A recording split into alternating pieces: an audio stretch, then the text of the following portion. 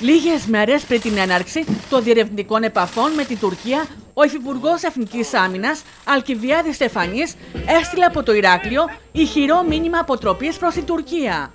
Καλείστε σήμερα να υπηρετήσετε την πατρίδα φέροντας την τιμένη στολή του Έλληνα αξιωματικού σε ένα ιδιαίτερο για τον ελληνισμό χρονικό και ιστορικό σταυροδρόμι.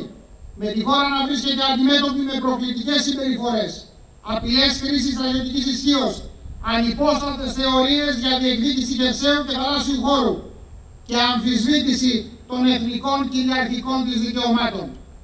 Σε αυτές τις συνθήκες η πατρίδα, με πλήρη συνέστηση της ιστορικής της ευθύνης, επιλέγει τον δρόμο του διαλόγου και της νομιμότητας, προασπίζοντας τα συμφέροντά της στη βάση των αρχών του διεθνούς δικαίου και του ευρωπαϊκού κατεστημένου. Ο Αλκιβιάδη Στεφανής αναφέρθηκε στην τουρκική προκλητικότητα, στην ετοιμότητα των ελληνικών ενόπλων δυνάμεων, καθώς και στη στάση της χώρας μας, η οποία κινείται σύμφωνα με τις αρχές του διεθνούς δικαίου. Παράλληλα όμως, διαθέτει σύγχρονες, αποτελεσματικές και ισχυρές ενόπλες δυνάμεις που επιτρέπουν την εφαρμογή της εξωτερικής πολιτικής της χώρας με σύνεση, σταθερότητα, ψυχραιμία, αποφασιστικότητα αλλά και εθνική αυτοπεποίθηση καθιστώντας με αυτόν τον τρόπο την Ελλάδα παράγοντα ευημερίας και ασφάλειας για την ευρύτερη περιοχή της Νοτιοανατολικής Μεσογείου. Οι δηλώσεις του Υφυπουργού Εθνικής Άμυνας έγιναν στο πλαίσιο τελετής ονομασίας των δοκίμων εφέδρων αξιωματικών πεζικού, η οποία πραγματοποιήθηκε σε κλίμα συγκίνησης και υπερηφάνειας. Ευχαριστώ! Ήθελα να επισημάνω κάτι το οποίο μου έκανε μεγάλη εντύπωση. Φίλησε στη σημαία όταν την παρέδωσε. Μάλιστα. Σημαία αυτό εσένα και τους συμμαθητέ σου. Η σημαία πρέπει να είναι πάντα μέσα μας και να ανεμίζει μέσα μας πάντα δυνατά.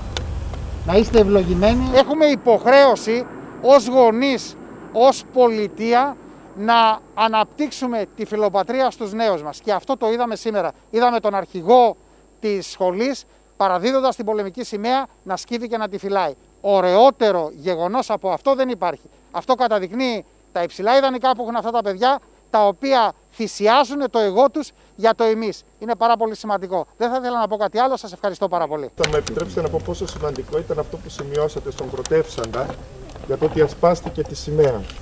Έτσι νομίζω μικρές κινήσεις λένε πάρα πολύ σημαντικά πράγματα. Και όπως επισημάνατε, η σημαία είναι μέσα στην καρδιά μας και εκεί πρέπει να κυματίζει πάντα. Να ανεμίζει πάντα ψηλά. Ακριβώς στην αύξηση της θητείας στο στρατό ξηράς από 9 σε 12 μήνες, αλλά και στη σημαντική ενίσχυση του προσωπικού των ενόπλων δυνάμεων, αναφέρθηκε ο Υφυπουργός Εθνικής Άμυνας. Η κυβέρνηση με έναν συνολικό τρόπο αντιμετωπίζει τα θέματα της τελέχωσης. Είδατε ότι ξεκινήσαμε με αύξηση των εισακτέων στις στρατιωτικές σχολές, αξιωματικών και υπαξιωματικών. Προχωρήσαμε σε ένα δεύτερο βήμα προκυρήσοντας θέσεις για οπλίτες βραχίας ανακατάταξης και για επαγγελματίες οπλίτες. Και τώρα φτάνουμε στο τρίτο επίπεδο που εξομοιώνουμε τη θητεία μεταξύ του στρατού, ναυτικού και αεροπορίας.